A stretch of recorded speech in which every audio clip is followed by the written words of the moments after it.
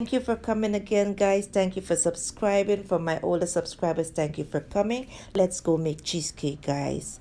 We starting this cheesecake from scratch, all right? So stick around and see how it's being done. All right, so first what we're going to do is to place our crackers into a bag, use a rolling pin and just crush it. You can also do this method in a food processor and make sure it's all, you know, mashed up.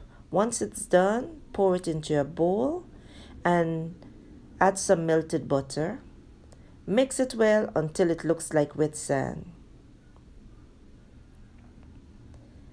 Now I'm not going to be using a springform pan. I'm going to use my normal dish to do this.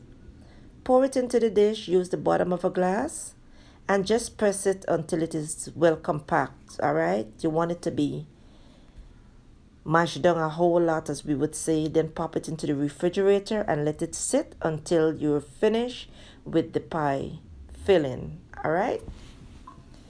So now for the filling i'm going to add two slabs of cream cheese. You can use any type of cream cheese. That's okay.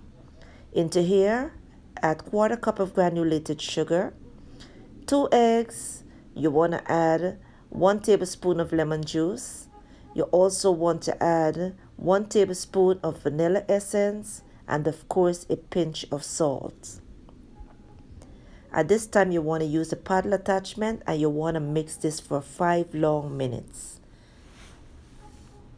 In between mixing you need to stop guys and you need to scrape the sides of the pan.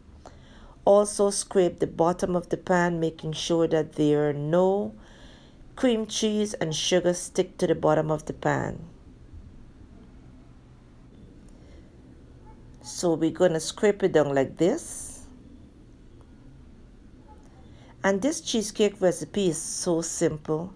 It is so easy to put together. Alright, so you need to give this a try.